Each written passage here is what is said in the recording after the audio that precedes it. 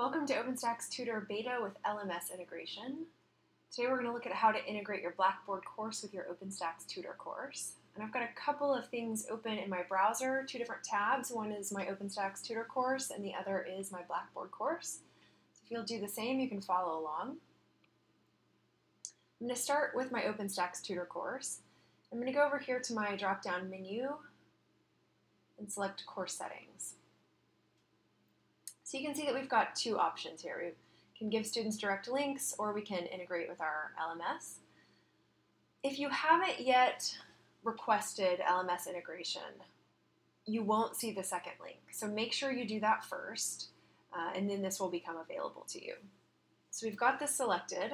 We've got our Blackboard tab selected and you can see that a URL, key, and a secret automatically populate. We'll copy and paste those into our Blackboard settings in just a minute.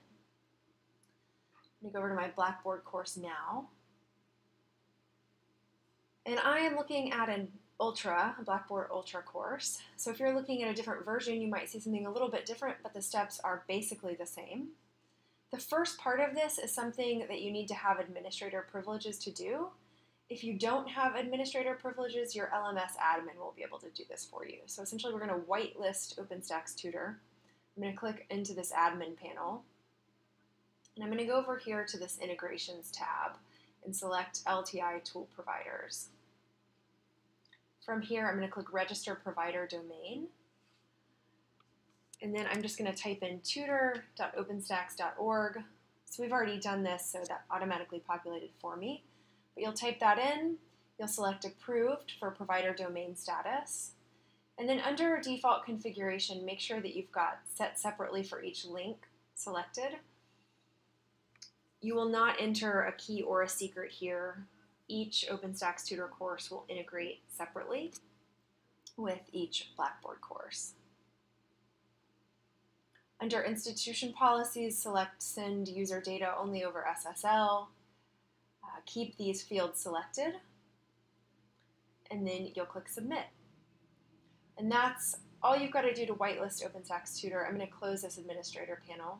And then I'm going to go into my OpenStax Tutor Biology 2E course. All right, so once I'm in my course, I'm going to go to content. You might find content in different course modules. Um, so it might look a little bit different depending on how you've set up your course or how your institution sets up courses for you. I'm going to go to build content. I'm going to select web link. And we're going to set OpenStax Tutor up as a link in your Blackboard course. So I'm setting up um, my link, I'm naming it OpenStax Tutor. This URL is going to be our launch URL. So I'm going to go into my OpenStax Tutor course. I'm going to copy this URL. I'm going to paste it here. And I'm going to select this link is to a tool provider. This is when your key and secret fields will pop up. So I'm going to go back into my tutor course, copy my key, paste it here. I'll do the same with the secret. I'll paste it here. I'm going to enable evaluation, so OpenStax Tutor can send scores to Blackboard. I'm going to make this 10 for points possible. This is obviously up to you make this visible to students. You can set a due date or not. Um, you can add a text description. I've got this set to open in a new window. And then permit users to view this content. You can track the number of views and select the rest uh, as you feel appropriate. I'll click Submit from here. And you can see that in content, I've got a link to my OpenStax tutor course. So I'm just going to click on this. and voila, we're logged in.